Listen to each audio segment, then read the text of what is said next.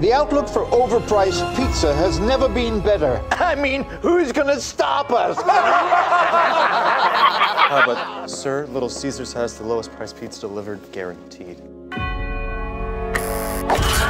Price is one thing, taste is another. Mm. My word. That's not good. We're not Big Pizza, we're Little Caesars. Now get $5 off your first delivery. Pizza, pizza.